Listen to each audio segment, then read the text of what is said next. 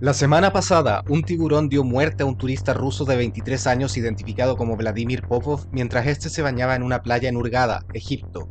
El ataque completo fue registrado en video por otros bañistas que se encontraban en la playa, pero no será mostrado aquí por razones obvias. El caso es triste y nos recuerda que los animales salvajes pueden ser peligrosos para los humanos. Sin embargo, es importante destacar que los ataques de tiburones son extremadamente raros.